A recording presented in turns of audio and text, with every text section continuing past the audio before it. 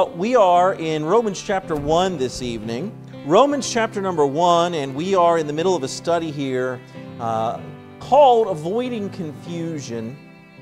And uh, in this study, we are looking at how to interpret uh, cultural events through a biblical lens. How do we as Christians, I mean, we see what's going on in the culture around us, the craziness, the, the way they've just changed truth, or really they have taken the label of truth and have completely disintegrated it till it actually means nothing anymore. So, how do I, as a Christian, then stand up and what, what, what, I ought, what ought I to stand on, really?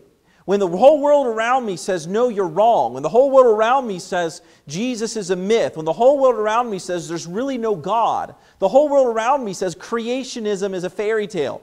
The whole world around me says that there's no such thing as, as you know, two genders, that that's not real, that it's a spectrum. When the whole world around me says, you know, you can love who you want to love and marry who you want to marry, and there's nothing wrong with that, and there's no, you know, repercussions to that, that there's no right or wrong, good or evil, that there is no eternity, that there's no purpose in life. When the whole world around me is trying to deteriorate my foundation as a Christian, how ought I to view that? And so we're looking into Scripture here in these, uh, these services for the purpose of strengthening your foundation.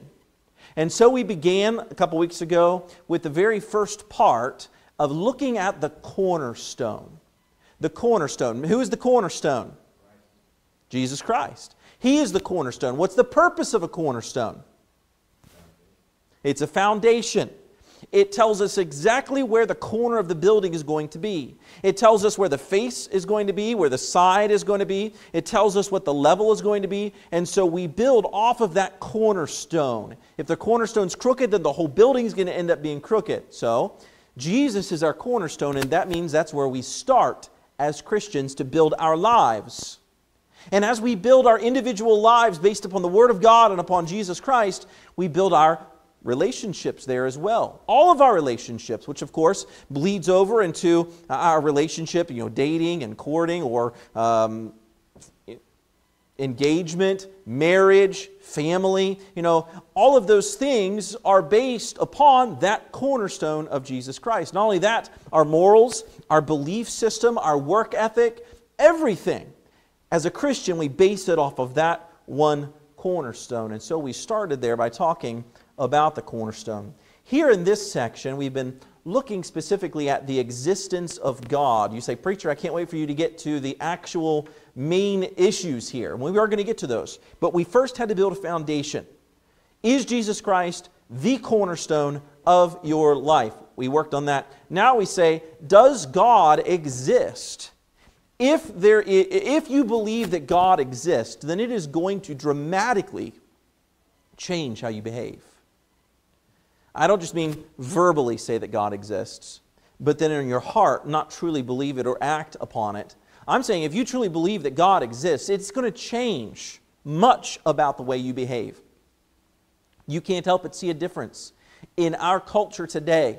From 50 years ago, when I mean, I wasn't even around then, but 50 years ago, culture was extremely different. And the things the kids ran around doing and playing, the words that they used, what they allowed to be on television, um, you know, there was a massive difference in our culture back then. One thing that has occurred during those 50 years is a decline of uh, Christian believers. Many have died, have gone on to their graves, have gone on to eternities, and it, it had not been passed on to their children. And their children did not pick up the torch, and they did not choose to believe in Christ. They fell away, and their children haven't even heard of the name of Jesus Christ. Don't know anything about it apart from jokes, apart from curse words, or apart from what Hollywood has said concerning priests or concerning uh, the fake religions. Does God exist? And we began by looking last week, talking about this. We uh, looked at the coexist bumper sticker and I went through each of the letters and what they stood for. And today I want to get into this the inner revelation. This, and, and I'll quickly go through this, we saw coexist and what each of those meant, and really it is God exists. Um, we continue on uh, the human, Humanist Manifesto, good without God. One third of those 35 and younger report no religious affiliation at all. 33%, a big number. But then uh, we looked at the decline of Christianity, but the rise, that red line, an increase, 21% increase of atheist, agnostic, or no faith whatsoever. One in four unchurched adults are skeptics. It's 25%, either atheist or agnostic. Now, we get to this idea, number one on your outlines. By the way, does anybody need an outline? One here is on the inside. God, who is full of love for his compassion, for his creation, passionate to have fellowship with us, he put inside of each one of his persons the gift of revelation. He put inside each of us a, a special gift. And I'm not talking about this inner light you know, that the New Agers might talk about. I'm talking about He has put inside each of us a knowledge, a knowledge that there is, must be, a higher being than us as humans. There must be a creator. Even if they do not know His name, we know, they know, when we're born, we, we have this natural tendency inside of us to know there must be a God. The first thing I'm going to look at here is innate truth.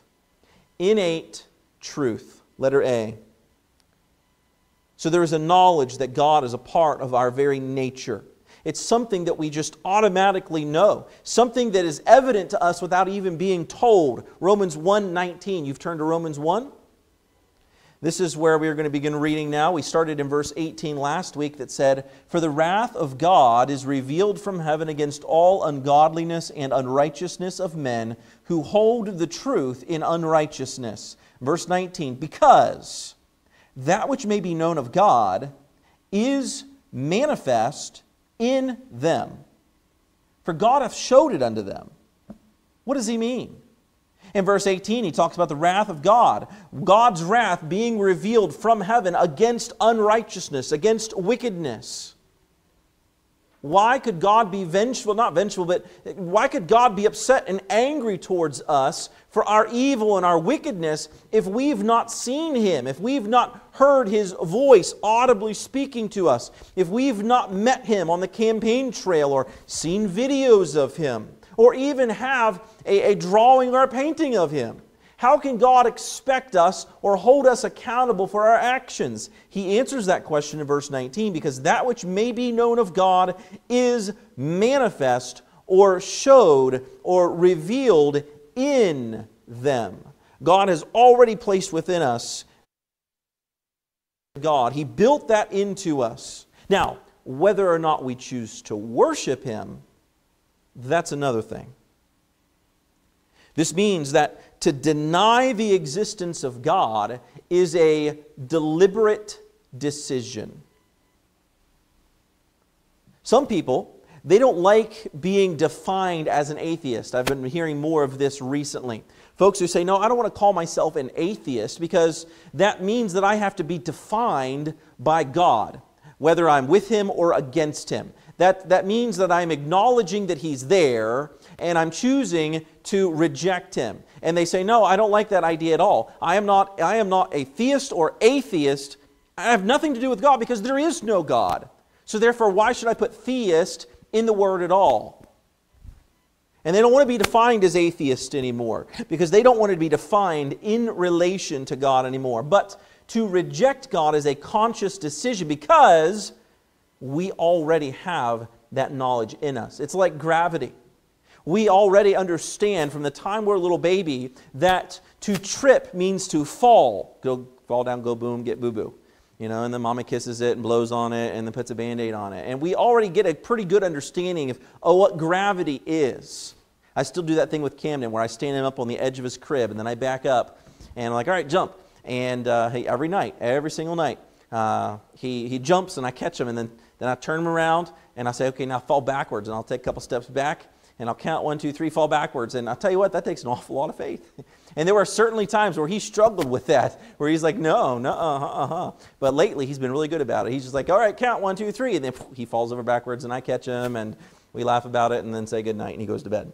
And he understands gravity. Now, there was a time there where he was getting a little scared to do it. At first, he didn't care uh, because he probably didn't have that great of a grasp on what, me, what it means to fall down and go boom. Well, he's fallen out of his crib several times since then, and you know, he has a good understanding now that it hurts, and now he knows what happens if daddy misses. then uh, it has some consequences. But now he's back to trusting me again. So, you know, we just kind of go back and forth on that one, on whether he trusts me or not. I haven't dropped him yet, yet, but uh, he, he still trusts me. But in order to ignore gravity, it means you have to make a conscious decision to choose to believe that something that obviously exists does not exist. This is what atheism is. You didn't grow up as an atheist, even if mom and dad had a, a, transformative power, you know, in your growing up years, it still had to be trained out of you. Because it's natural to understand and believe that there is a God. Whether the choice was intellectual meaning they, they had unanswered questions about God and concluded if I can't answer these questions in a concrete way, then God must not exist.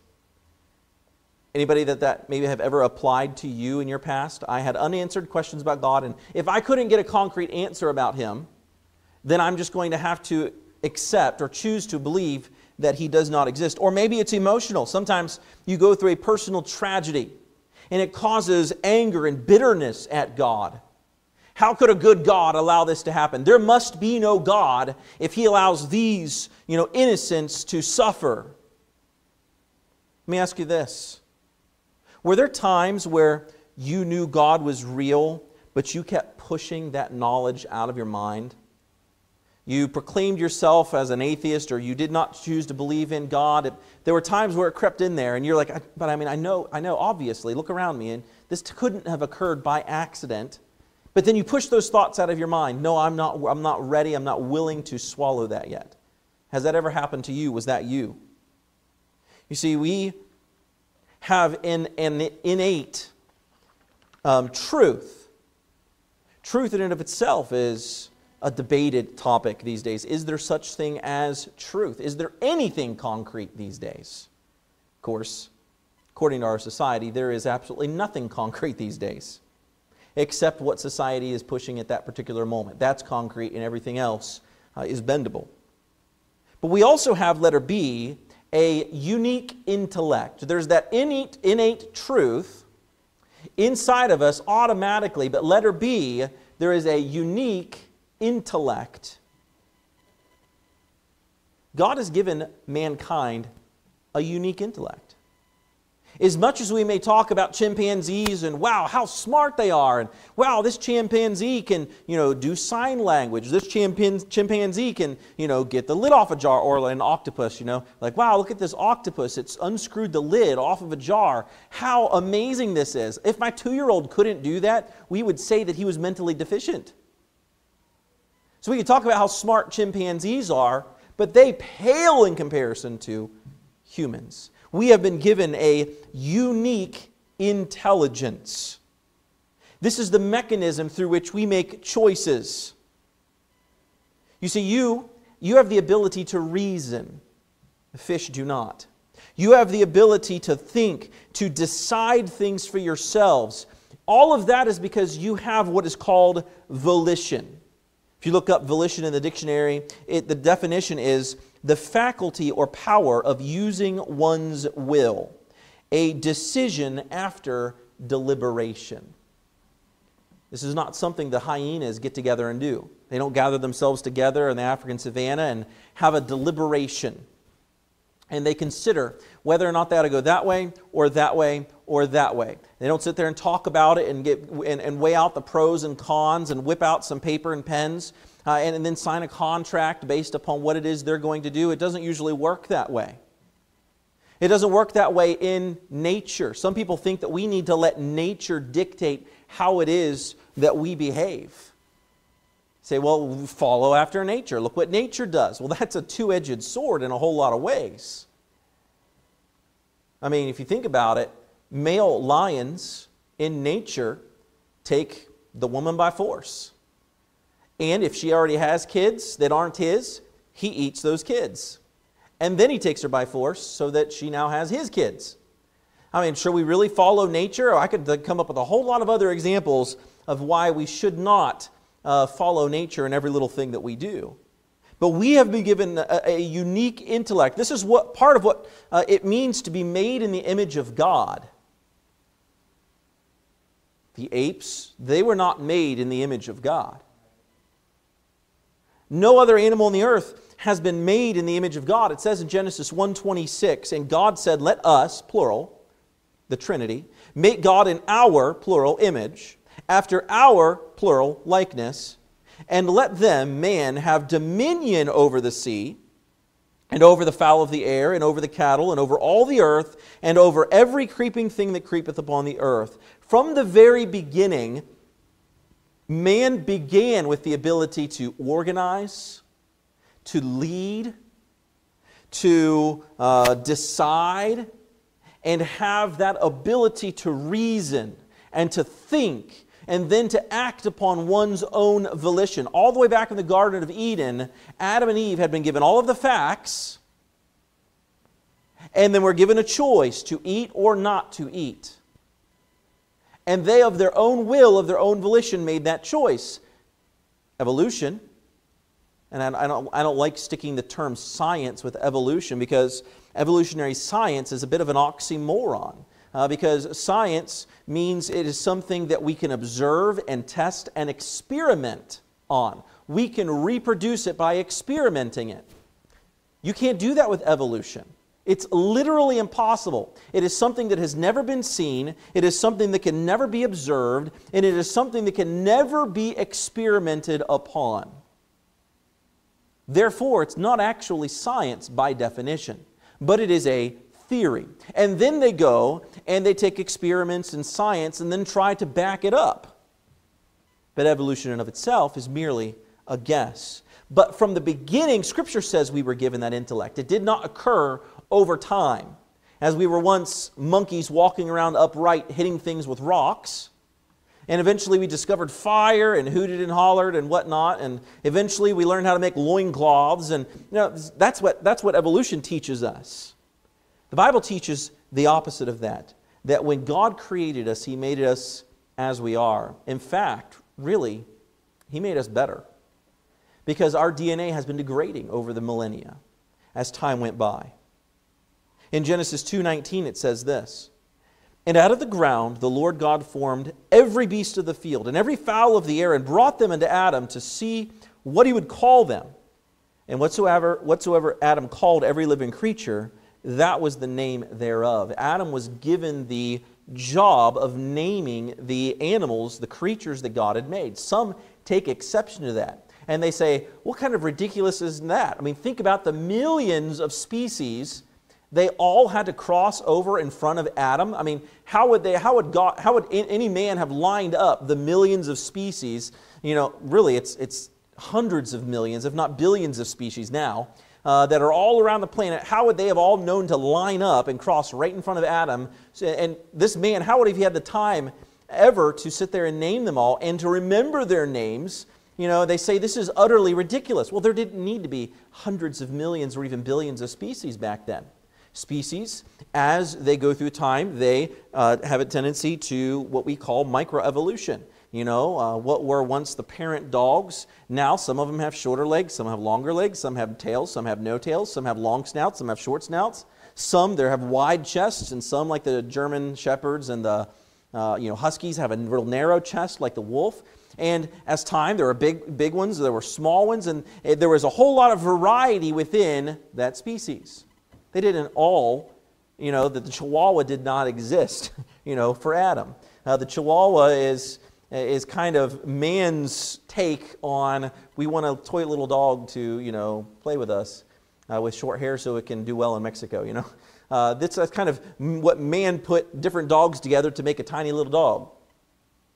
They didn't need to be, you know, uh, billions of species back then for Adam to name them. But this is more than a mere intelligence, though. As I said, You can train a rat to go through a maze and find his cheese. You can train an octopus to open a glass jar so that he can get the treat, you know, out, out, out of the inside of the jar. You can train a monkey to use sign language to be able to get what it is they want. Yes, you can train them to do those things.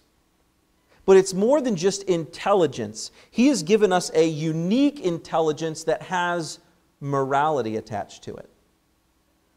A knowledge of right and wrong. Do you think the lions have a knowledge of right and wrong when it comes to taking by force a mate or killing her children? This is just what comes natural to them. It is, part, it is instinctual to them. The, the male wants to procreate. He wants to keep the line alive, even if he doesn't realize that's what he's doing. He, that's his natural internal uh, you know, drive. Those children are a hindrance to him being able to promote his line, and so he kills them, takes the woman, and you know, they don't know any different. That's simply how they behave. There's morality attached to us, though. You don't find animals quibbling over the morality of whether or not to say these words or to do those things or to go those places. Let's talk about our moral intellect for a little bit. He gave us a moral sense that you and I can reason things out and make value judgments about right and wrong is the imprint of God's image upon us.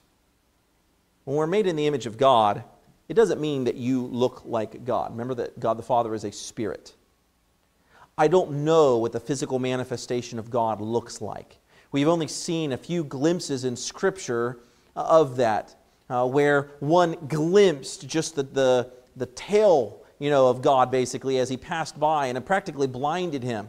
Uh, of Isaiah as he stands in the throne room of heaven and he sees the majesty of God there in his throne room and his train filled the temple. And what does God look like? Well, we, don't, we aren't given a description of what God must look like other than that we, we know that God the Father is a spirit. In other words, not a, a corporeal being like us. Now, he has imprinted himself upon us. And morality is one of those things that we get because we were made in the image of God.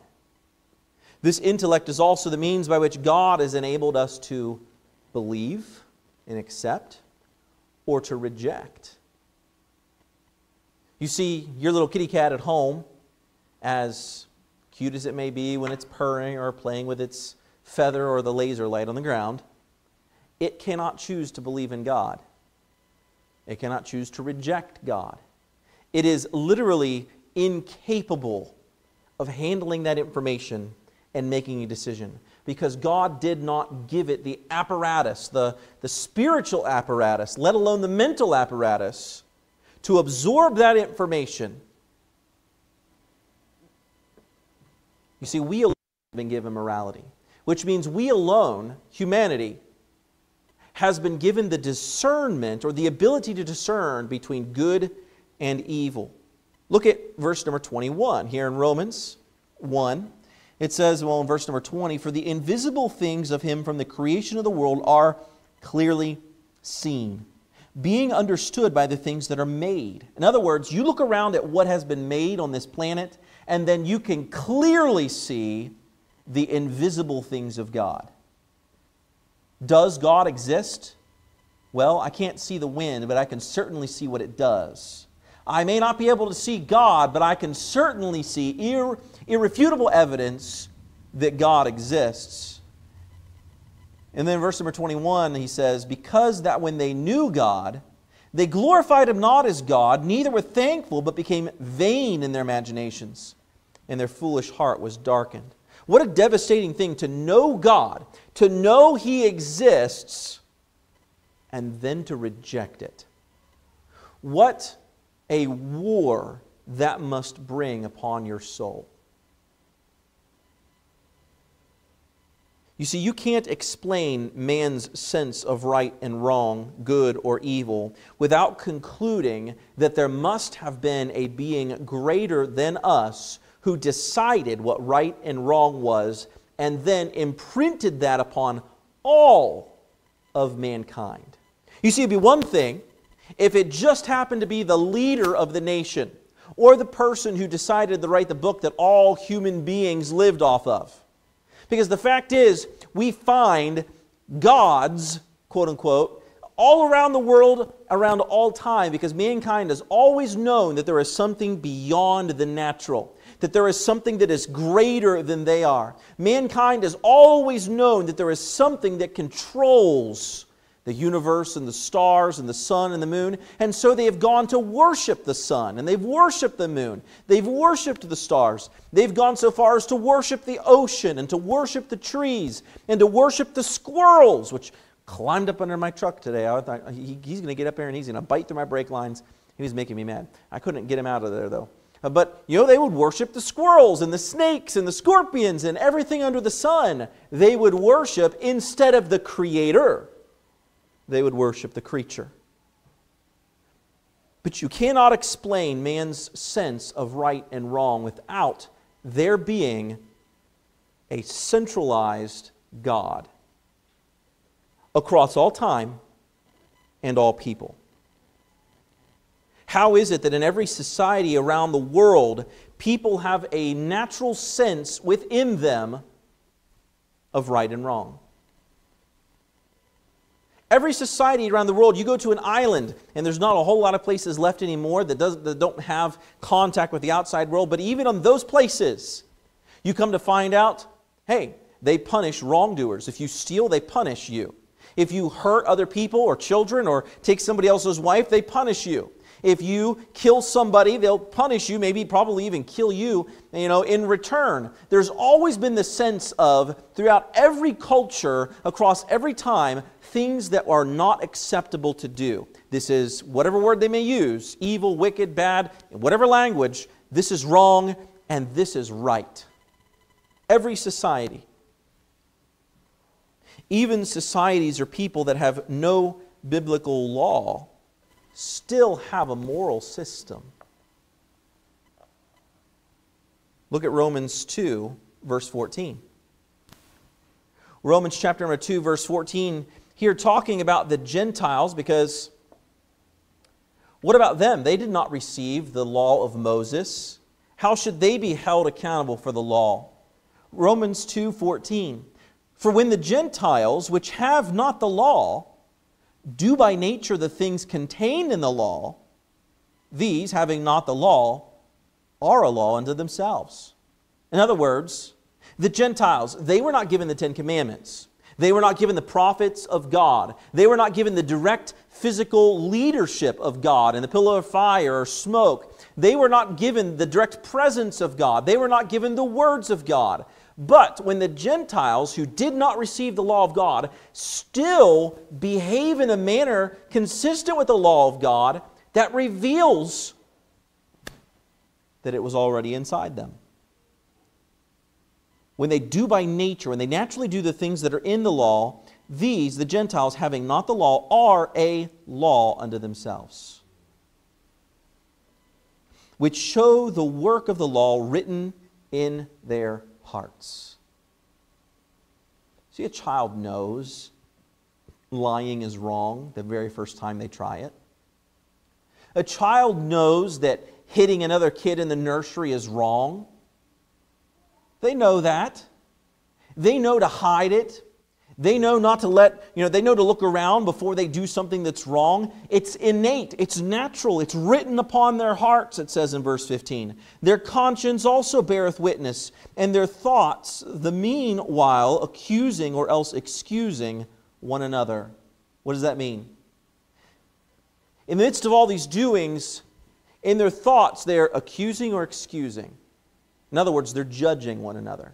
What you're doing is right or what you're doing is wrong. What does that mean? That it means it wasn't just right or wrong for me, it's not subjective. When I look what you're doing, I can say that is right or wrong, which means that it must be universally right or wrong, not just subjectively right or wrong for myself. This is what the Scripture has to say about it. Having not the law, or a law unto themselves, which show the work of the law, written in their hearts. The problem for atheists is this if they admit the existence of evil they must also admit the existence of good. There cannot be one without the other. I remember having an argument with, with somebody one time about you know, the, the difference between believing in heaven but not believing in hell.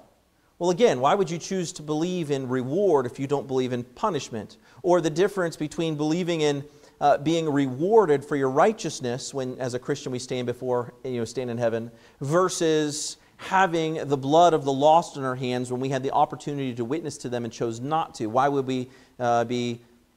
Why would we be, you know, not be punished for, you know, not doing right things when we would be rewarded? Why would one come and not the other?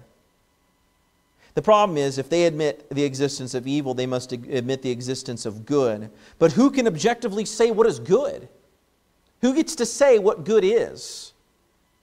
If we leave that up to the modern media, if we leave that up to society or the universities or the intellectuals or the philosophers, then it will ever be changing and it will never be settled.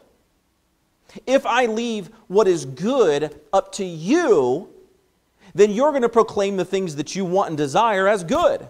That's what I would do. If it was up to me, then I would just decide that the things that I like and the things that make me happy are good. And the things that I don't like, no matter what they are, no matter how pleasant they may seem to you, chewing on ice, bad, wicked, death penalty right there, you know. Among other things, you know, I'm starting to sound like my brother. He used to drive him nuts when people would let their spoon or their fork touch their teeth while they're eating or chewing with their mouth open. Uh, some of my kids are getting real bad about that these days. Um, death penalty right then and there, you know? You know, making, making noise, too much noise while you're eating. we don't eat like cows around here. Now, that's silly because it doesn't matter what I think. That's the point here. You know, we don't have a justice system that operates that way. Our justice system, does, justice system does not operate based upon what I think is right or wrong, but it operates based upon the black and white letter of the law. The law says this is illegal. Now, there are certainly times where uh, that is ignored. Take the southern border, for example. Uh, there are times where the letter of the law is completely ignored. And in many other cases where that is the case. And then there's times where you know, the hammer comes down, heavy, comes down heavy on areas where the law is not completely clear. That's, that's the nature of humanity. You know, we're going to make mistakes in those areas. But how can one say that something is objectively good or evil? Only the reality of God can explain that. There was an atheist, I was listening to him arguing with a Christian apologist, and he argued that good and evil would not exist if mankind did not exist. They said, Well, do you believe that good and evil exist? Well, how about this? What if every last person, every man on the earth, you know, died, ceased to exist? Because according to evolution, that's what's going to happen. You know, uh, Homo sapien, us, are going to cease to exist, and then, I don't know, the reptiles are going to become, you know, intelligent or something, or, or the whales, or who knows what, you know, is going to become intelligent next, and, you know, after the humans have all left off of the scene. Will right and wrong, will good and evil still exist even if there are no humans here? to know it or to do those things? Well, it reminds me of this question. If a tree falls in a forest and no one is around to hear it, did it make a noise? And a lot of really intelligent people can sit there and argue about whether or not it would make a noise. So a tree falls in the forest, no one's there to hear it. Did it make a sound? Well, the answer to that question is yes. Why? because the production of sound does not rely upon sound receptors to create sound. In other words, that tree is not relying upon my ears to create that sound. What is it relying upon? It is relying upon the laws of physics to create sound. And the laws of physics do not bend and cannot be broken by anybody except God. And so when a tree falls in the forest, we know that that sound of the cracking is going to cause waves in the air, which are going to travel and bounce off things. And as it crashes down through other limbs and things break, it's going to make cracking and crashing sounds. And then when it hits, it's going to cause a loud thump and it's going to vibrate the ground and it's going to cause great amounts of noise. Whether or not my ears are there, it does not change the laws of physics. Why? Because the sound production is based upon something outside of me. So, we go back to the previous question Will good and evil cease to exist if mankind's not around? Well, yeah, because good and evil have nothing to do with mankind. It has everything to do with something greater than us, something concrete, something that is outside of us. It is based upon God, His Word. God is good, God is right. That is concrete. That cannot bend, that cannot break. So it has nothing to do with me. In fact, this problem for some atheists is so severe that some actually do deny the reality of evil. It's kind of a catch 22 for them. If there is an evil, if they willing if they have to admit that, then there has to be a good. And then they have to ask the question, answer the question, who decides what that is? So some go so far as to say there is no evil. Richard Dawkins, there's a name that you might have recognized. He calls belief in God a delusion. He also denies the existence of evil. So if I were to strangle a baby, that is not objectively evil as far as he and many other philosophers, scientists, whatever you want to call them, are concerned. He wrote this The universe that we observe has precisely the properties we should expect if there is, at bottom, no design, no purpose, no evil, no good, nothing but pitiless indifference. The universe we see indicates to us no design, really? No design. I would automatically know somebody, some engineer in some office somewhere designed this thing. Somebody had to have created it. Somebody thought it up. Somebody designed each and every individual part which was put into this. No design, no purpose, no good, no evil, nothing but pitiless indifference. Okay, okay. If you just looked at the animal world, then it might seem like there is no justice and that there is no good and that there is no evil. Well, you would have to see there's design, maybe no purpose.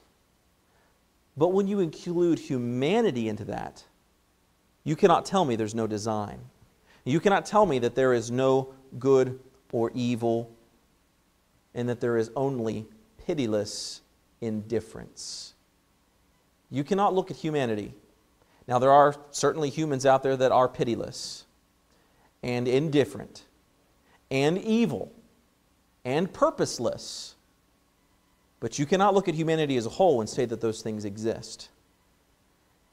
Every rejection of God and every rejection of truth necessarily leads to another one, culminating in an empty, lonely, meaningless life, which many end up cutting short on their own. Because they have been sold the lie from the K 5 years of schooling they have been sold the lie that there is no God, there is no meaning, there is no purpose apart from gratifying myself. And once I've gratified myself about as much as, as I can, what is there left? If my pain outweighs my blessing, then I might as well just go ahead and enter into nothingness. This is what the world around us teaches us. Let's talk about purpose for a second moral purpose.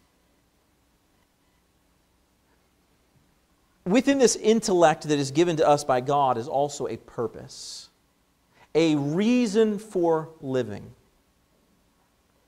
Do you have a reason for living? Technically, yes, we all do. Technically, yes, God has given each of us a, or has a, a purpose or a will for every single one of us. Now, that does not mean that we're going to fulfill that will. You may have rats in your barn, and so you go out and you buy a cat. But maybe you bought a cat that has been living in a house and getting fat and eating kibble, or whatever they call it when cats eat it, for far too long and has no interest in catching mice or rats for you. You might have intended a purpose for that cat, and that cat had no desire to fulfill the purpose you intended for it, but it stands at, the, at your door window looking in and meowing and sneaking in every time you open the door because that's where it would prefer to be. God has a purpose for us, absolutely. Romans 1 describes how when men stop glorifying and thanking God, this eventually leads to a life without purpose. Look again at verse number 22, Romans 1 22. Professing themselves to be wise, they became fools and changed the glory of the uncorruptible God into an image made like to corruptible man, and to birds, and forfeited beasts, and creeping things. At the time when the scripture was written, the Greeks worshiped you know, very, very, very many gods. And many of the gods that they worshiped resembled animals. They worshiped eagles, they worshiped other birds. Many other cultures, like the Egyptians, uh, the Canaanites, many others, worshiped things that were fashioned after man. The Philistines, you know, worshiped a god that was half fish and half man.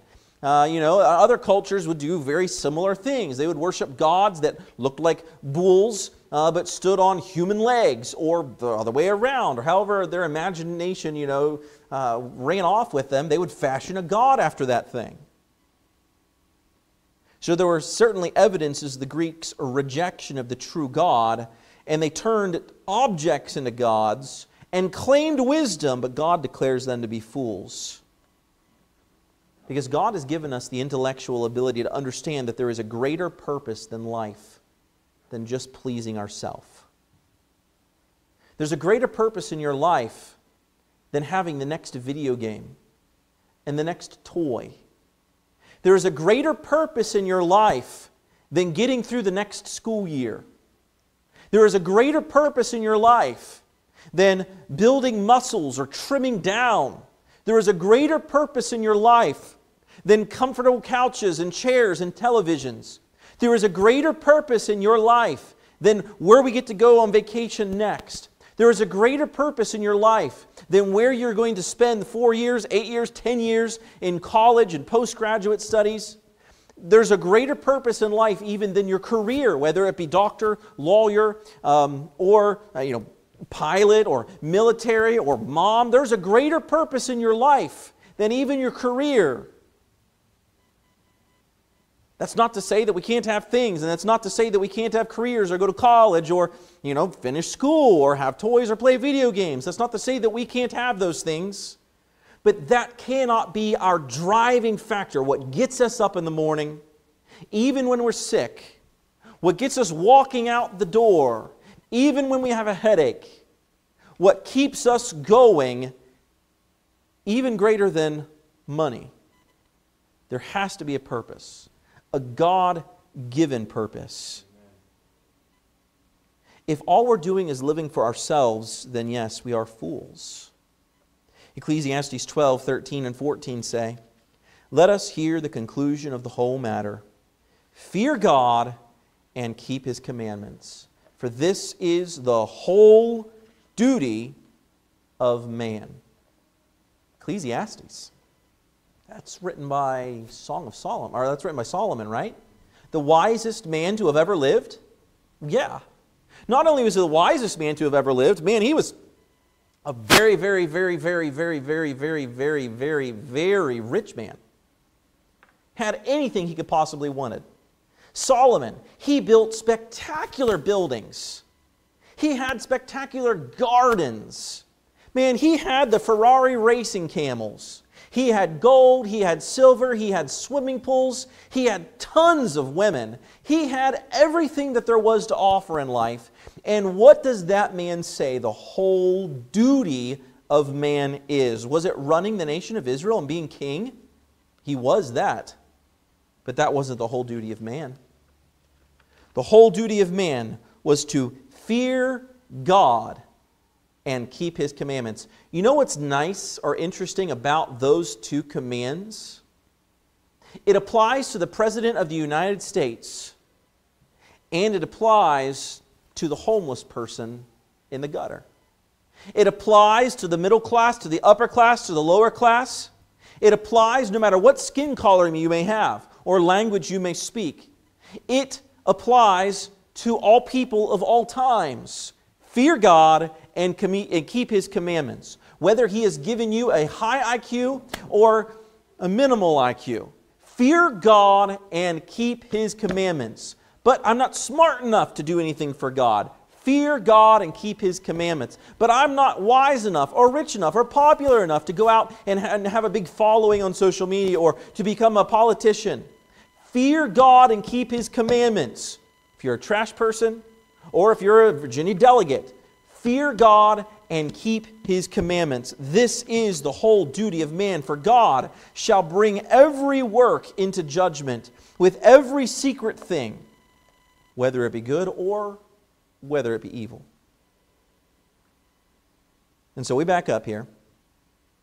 The understanding that God has placed his knowledge in our heart should give us the courage to speak up for him. Why do you say that, Pastor? Because there's some people that we look at them and we think, man, that's a hard case right there. uh, maybe there's a bunch of tattoos and they just appear like they're mean or angry, and that's just kind of like a front, you know, or a shell that they put on. Maybe they're Hindu or Muslim or Jewish or Catholic, and you, you think, wow, there's, there's, they've already got these strongly held beliefs. I'm not going to be able to penetrate through all of that. Well, you're always going to be right on that case because it's not your job to penetrate through it, anyways. It's your job to simply present the gospel. Understand this you've got an inside guy, you've got somebody on the inside because they already have a natural witness inside of themselves, innate truth and moral truth inside of them that is witnessing right along with you. It's like a little speaker inside their heart that is copying everything you're saying and saying, yeah, uh huh, what he said. Mm-hmm, yeah, what he said.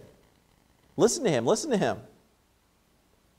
Because they already have that truth inside them that there is a God. They have to fight it, they have to quiet it. And they may get angry to quiet and to silence it. But that should give you courage. That should give you courage to stand up and speak up for Christ. Because no matter how hard they may fight it, you've got an inside man. Inside their heart, they already know the truth. Every, art, uh, every heart already has a curiosity about God. Every heart already has a God sized hole that can only be filled by Jehovah, God the Father, through the shed blood of Jesus Christ, his Son. Are there anybody, is there anybody that you feel particularly intimidated to share the gospel with? I know for me, if I'm trying to talk to somebody and if they say that they're like a Hindu or if they're a Muslim, I automatically get intimidated. Not because I'm afraid they're going to be a terrorist or something, but they've got some strongly held beliefs that I don't know very much about. If they tell me, oh, I'm a Catholic or Jehovah's Witness or a Mormon, okay, I have at least a, a baseline understanding, you know, of where they're coming from. But when it comes to some of those others, it's like, man, I, I don't even I don't even know where to start with you. you know, we don't share scriptures that we can both, you know, a same foundation that we can kind of go to. But understand this: it's not my job to penetrate their defenses, anyways. And so, the same gospel that I would share with a Mormon or a Roman Catholic is the exact same gospel that I should share with a Buddhist. I don't need to change a thing about it. If somebody, you know, says, "Oh, I'm, I'm a Jew," yeah, I don't, I'm, I'm good. I don't need that. I'm a Jewish. You know, they need to hear the exact same gospel as anybody else. They may be closed to it because of their religiosity, but the gospel has not changed. No matter whether we're talking Old Testament, New Testament, you know, church age now, whether we're talking about the Great Tribulation, you know, the, the, the gospel itself of Jesus Christ hasn't changed.